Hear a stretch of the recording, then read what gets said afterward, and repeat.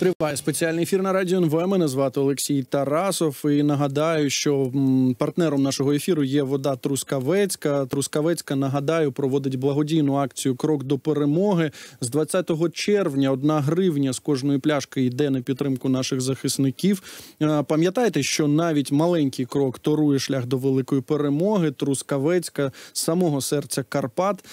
Ця інформація прозвучала на правах реклами. А зараз е, до нашого ефіру доєднується. Ахмед Закаев, глава уряду Чеченской республики Ичкерия за кордоном. Ахмед, здравствуйте, приветствую вас в эфире.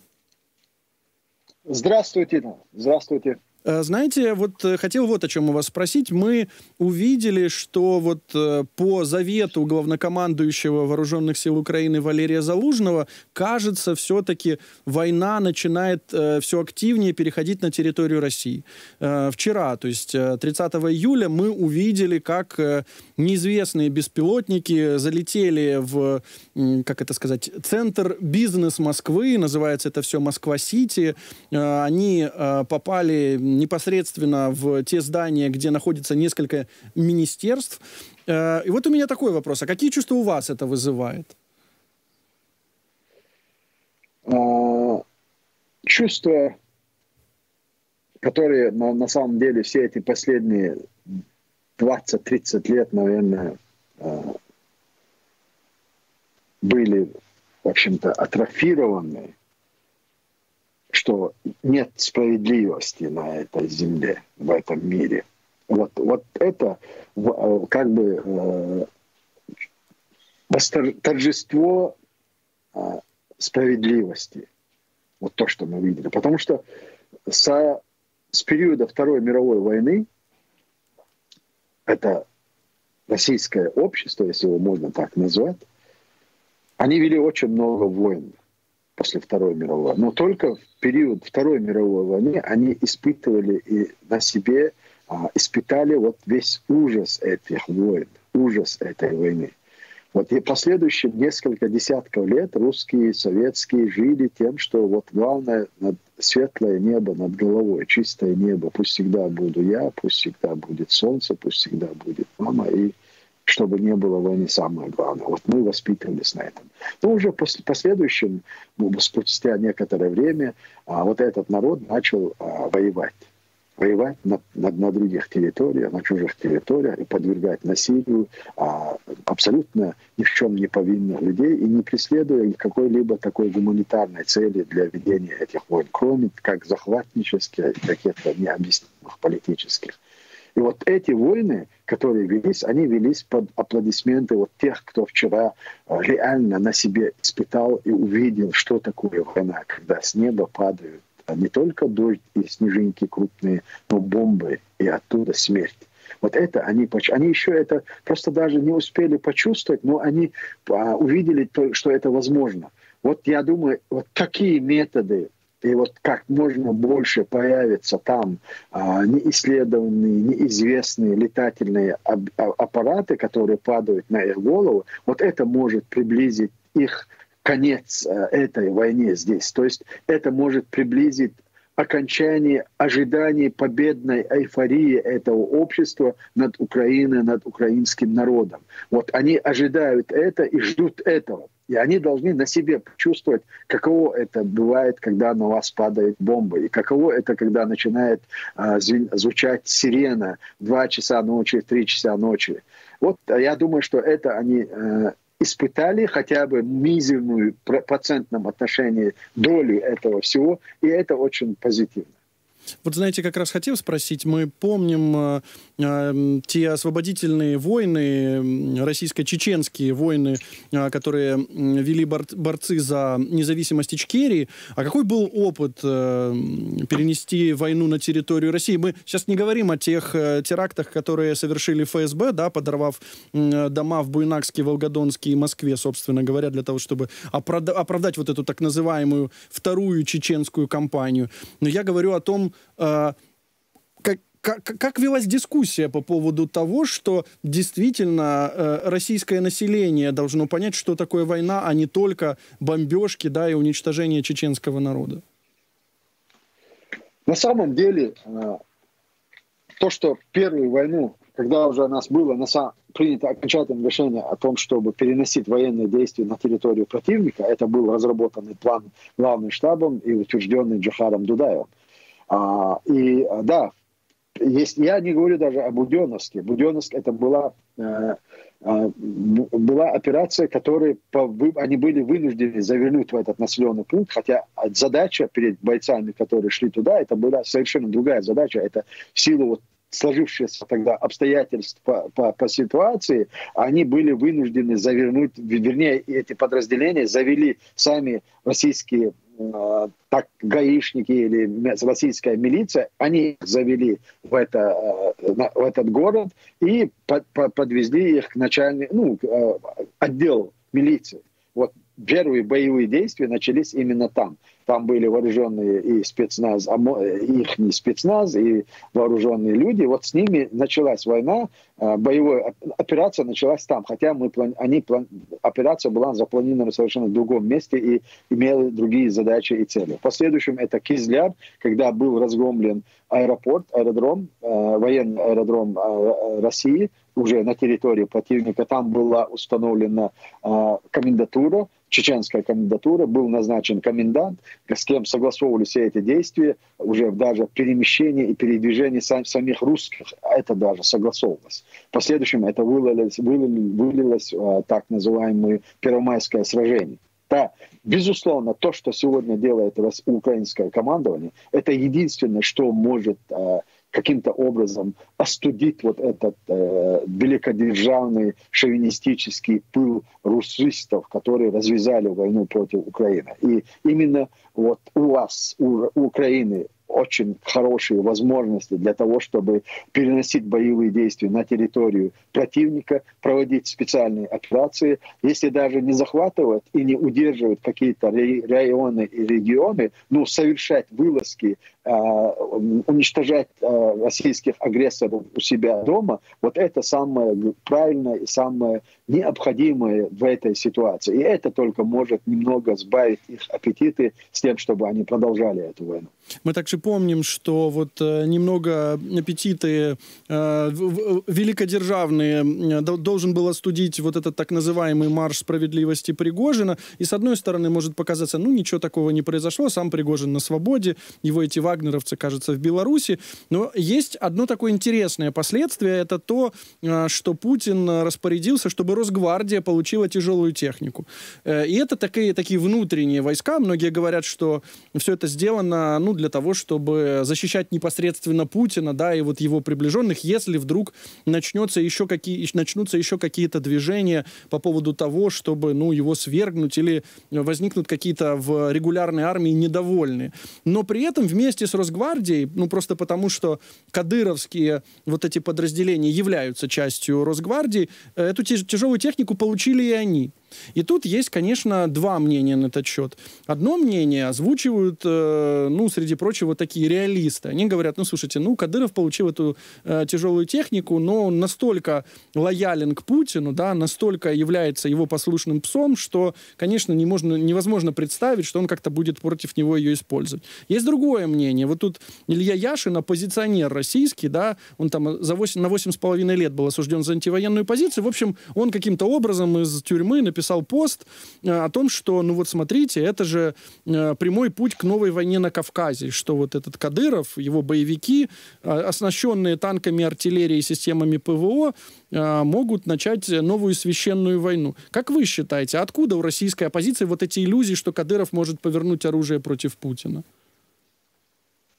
Дело в том, что у России, в принципе, оппозиции нет. Есть те, которые пытаются заменить Путина прийти на его место.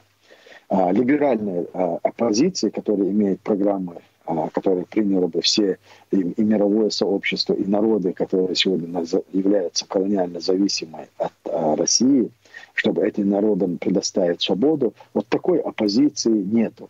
Поэтому Яшин или другой, который сегодня любое укрепление на Кавказе, любые изменения в силовом отношении а там для них это, конечно, очень серьезный вызов, потому что они а, планировали. Я знаю совершенно точно, что готовилась третья чеченская война, а, и те, кто пришли бы на смену Путина, вот его преемники, должны были развязать эту войну с, под предлогом борьбы с кадыровцами и с Кадыровым. Вот так и запланировано было. Но война в Украине – отменила, отложила эти планы. То, что Путин развязал ну, краткосрочную войну, он рассчитывал на короткую войну, победу, и в последующем военные уже могли бы взяться и за Чечню. Но что произошло, то произошло. Теперь относительно, что по поводу тяжелой техники. На все воля Всевышнего. Вы знаете, а, только Всевышний мог так а, обустроить эту ситуацию. Сегодня в Украине возрождается чеченская армия. А, в результате двух войн мы потеряли все. И тяжелую технику, хотя у нас ее было очень мало, мизерная была техника, старая была техника еще советского периода. Ну, мы все ее растеряли, вообще ничего нету. А, а, и сегодня возрождается вооруженные силы Чечни, чеченские вооруженные силы в Украине. И нам бы, конечно, мы не смогли бы с Украины вести тяжелую технику на Кавказ и в Чечню. И вот то, что там сегодня появляется какая-то тяжелая техника, это подарок от Всевышнего нам, нам всем, кто будет а, продолжать деоккупировать, кто будет деоккупировать нашу страну. Кадыров никогда не пойдет против Путина. Но чеченцы, которые находятся сегодня а, на территории Чечни и даже в рядах российской так называемой Росгвардии, как только появится и изменится ситуация, политическая ситуация в самой Москве, вот эти люди пойдут и против Кадыра, и против Путина. И мы делаем все, чтобы так оно и получилось. И мы будем это делать. А они для нас сегодня не являются кровными врагами. Только те, кто сегодня совершил преступление против чеченского народа, против чеченцев, вот они понесут ответственность. А вот вся остальные, все остальные, которые сегодня вынужденно находятся на территории, оккупированной территории, и они вынужденно сотрудничают с оккупационным режимом, а, с ними будет совершенно другой подход и другое отношение. поэтому любая техника, которая сегодня появляется на Кавказе или в Чечне тяжело, это для нас большой подарок. Это очень интересная интерпретация, и, мне кажется, справедливая, да, того, что происходит. А мы еще видим, как, э, ну, вот эти кадыровские подразделения несут потери. Несмотря на то, что, ну, было много информации, что все-таки Кадыров пытается беречь и поближе к себе держать э, вот этих э, своих кадыровцев, да, несмотря на это, все-таки просачивается в медиа эта информация. Я обратил внимание на новость, которая появилась, кажется, вот пару дней назад. Там э, так называемый министр печати и информации Чечни Ахмед Дудаев его зовут, он там публично отчитывал э, местного жителя Чечни, там 45-летнего человека по имени Аслан, за то, что тот якобы э, недостоверную информацию э, распространял о массовой гибели бойцов полка Север Ахмат под Бахмутом. Ну, разумеется, там все, все стандартно. Вот этот э, чеченец по имени Аслан заявил, что готов приносить извинения даже на телевидении. Мы понимаем, что с ним там происходило, да. Тем не менее, что известно о, об этих потерях? Из таких официальных о том, что, ну вот прям в новостях было вот такого Карлсона с двумя «С», он пишется, командир отряда БПЛА кадыровского подразделения «Ахмат» ликвидировали недавно. Мне кажется, вы знаете чуть больше. Знаете, в первую очередь, а, большие потери кадыровцы, которые были задействованы в самом начале войны, российской агрессии – а, они понесли большие потери. И среди них, на самом деле, можно сказать, большинство из них были именно кадыровцы, идеологические, во всех отношениях, которые были преданы и придерживались вот главных устоев этой а, секты, которая создана сегодня во главе с Кадыровым и во главе фондом на территории Чечни. Вот эти сектанты, они есть и сегодня. Они находятся, конечно, на, в особом положении.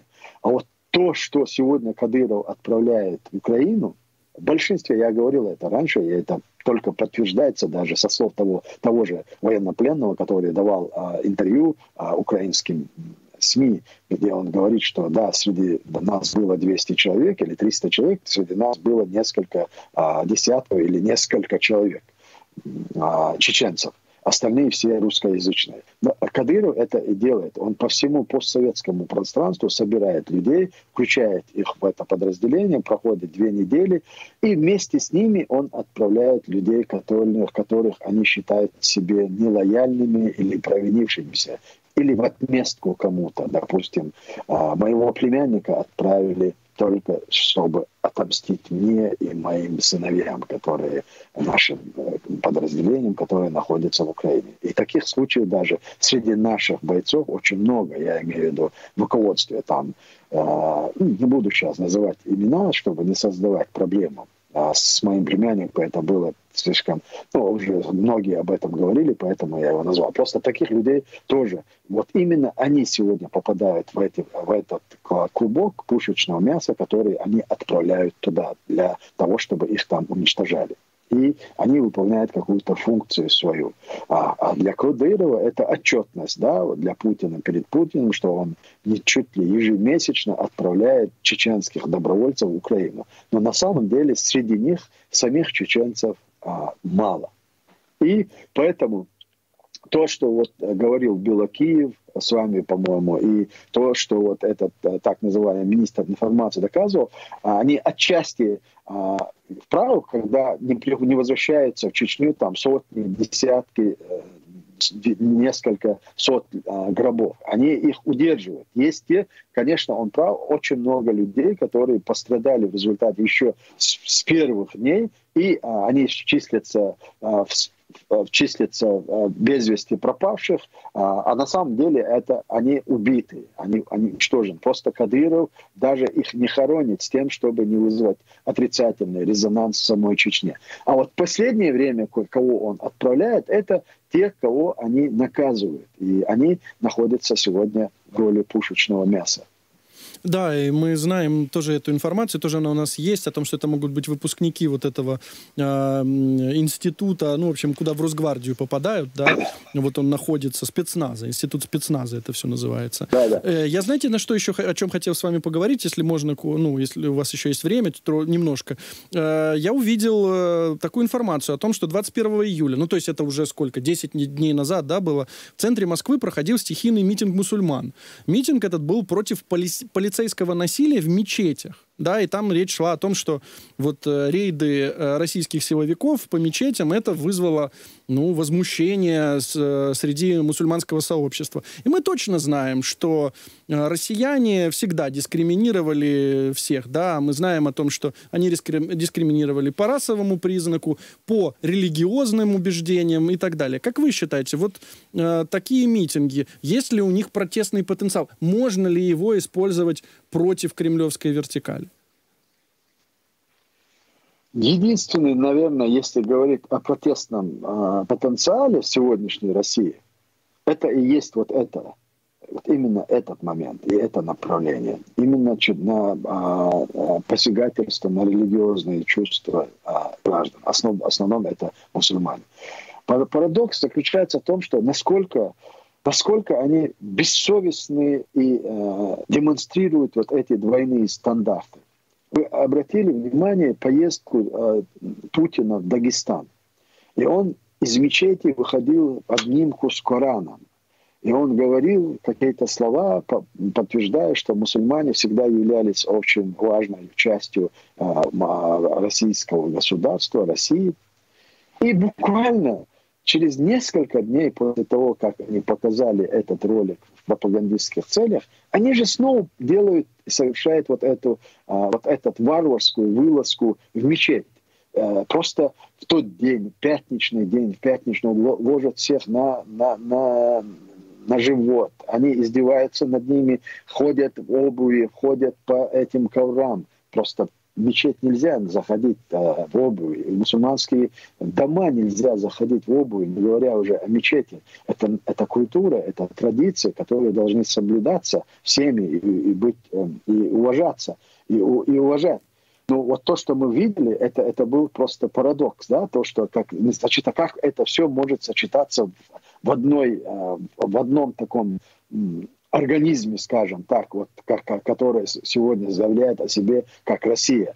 Как, ну, на самом деле это вот лицо и этой структуры и этого государства. Это террористическое государственное образование, абсолютно бессовестное, которое строится на лжи и на этой ложной пропаганде. И поэтому это очень показательно. И единственное, когда-либо, если начнутся какие-то серьезные протестные акции, это будет связано именно с религиозными деятелями и с религиозными чувствами людей, которых сегодня по, на, на, на которые посягает сегодня вот этот преступный режим и русисты. Мы обязательно будем следить э, за этими событиями. Ахмед, спасибо вам большое за этот розговор. Хочу нагадати нашій аудиторії, що з нами на зв'язку був Ахмед Закаєв, голова уряду Чеченської Республіки Ічкерія за кордоном. Серед іншого, ми обговорювали декілька важливих тем. Звичайно, що почали ми з того, що невідомі безпілотники атакували Москва Сіті. Москва Сіті це такий бізнес-квартал саме в центрі російської столиці. Ці безпілотники потрапили, влучили так так е, саме в тій будівлі, де знаходяться декілька російських міністерств, можна було побачити е, паперові документи з цих міністерств, які літали по Москві. Також обговорили ми тему того, що е, наляканий оцим бунтом Пригожина Путін надав наказ, щоб у Росгвардії з'явилася важка техніка. Це означає, що це важке озброєння також з'являється у його вірного пса Рамзана Кадирова. І отут питання в тому, чи це несе якісь ризики про це будемо говорити в наших наступних ефірах. Підписуйся на канал Радіо НВ. Ось тут.